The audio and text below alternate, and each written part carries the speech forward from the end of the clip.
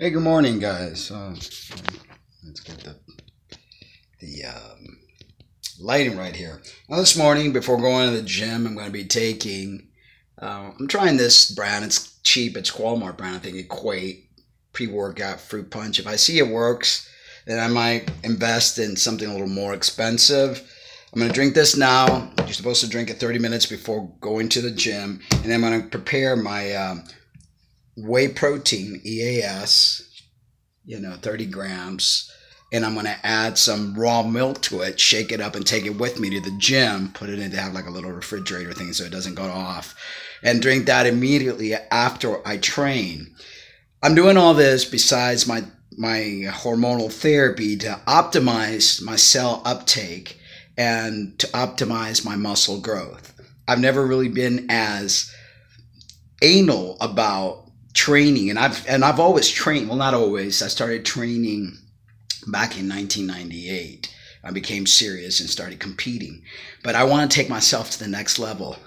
I'm hoping to be able to compete maybe 2 years from now in a competition you know male competition. I used to compete as a female before so that's a little goal you know that I'm putting for myself. So anyway yeah I don't know how this thing tastes like. I mean see if I could. And here we go again with the.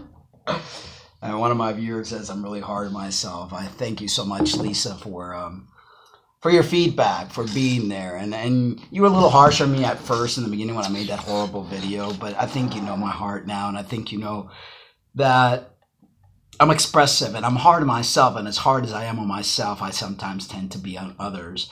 And it's not my nature is just the way that I was treated as a child. And like I said, you know, I love my parents dearly. They didn't have a manual. That's why I emphasize so greatly on parents to please be so gentle and careful with your kids because they're like sponges. They soak everything up. So here's to creatine. Ooh, that stuff is sweet. I need a little more water. a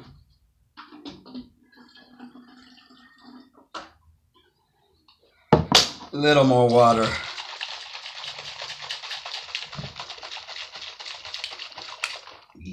Definitely be buying another brand. That's 25 days worth, but it, you know, it was like nine something. The other ones were like 19. And I don't mind spending the money as long as I know it's gonna work. So I figured let me try the the the the, least expensive. I hate to use the word cheap, but I'm very frugal, so I might just and this has got creatine. I might just use creatine and maybe like buy some juice and mix the creatine with the juice. Although this has more stuff than just creatine. It's got all sorts of different amino acids, arginine, creatine monohydrate, branching amino acids, and caffeine. So that's like to get me psyched up. I work out on an empty stomach. So that stuff will give my workout a boost. So yeah, Lisa, thank you so much. Thank all of you also um, for watching. For those of you who stuck with me, I've had a channel since 2006, and I just it's a channel that has such variety, you know, from the and its exemption. So exempt exemption, whatever the word is, my from the beginning.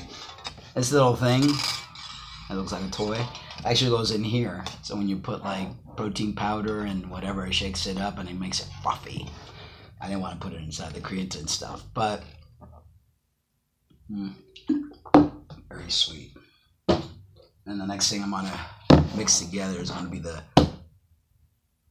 no, actually, yeah, glutamine, protein powder, and milk. Let's see how we get these guys right here. I've always had problems growing a bicep, so I'm planning to get big biceps this time around. Training really hard.